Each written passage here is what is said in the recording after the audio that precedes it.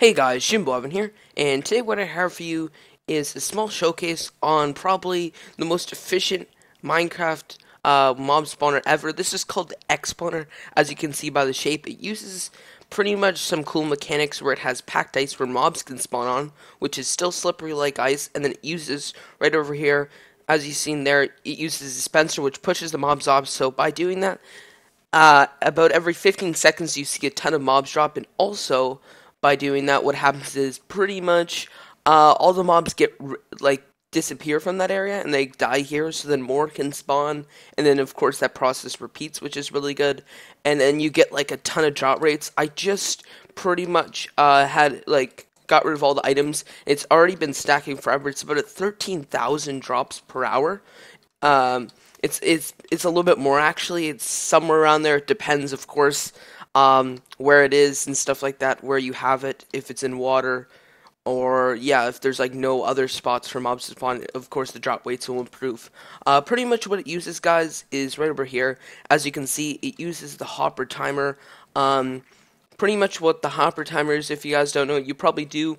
It pretty much like times and pulses between them, so it has a 16 pulse so every 16 seconds it will switch, and pretty much you have a connection here of redstone. So every 16 seconds this design activates, and once it does, uh, pretty much what's going to happen is it's going to send a tick every 16 seconds, which then makes that design work over there. And also what you have over here is pretty much the hopper timer connected to this little water thing right over here. As you can see, it turns off, and then around yeah about uh, 20 seconds or 16 seconds or something like that, it will then pull back, and then it'll activate the machine, which will put on the water, and it'll do the exact same thing over and over. So pretty much right down here, guys, is where it's working.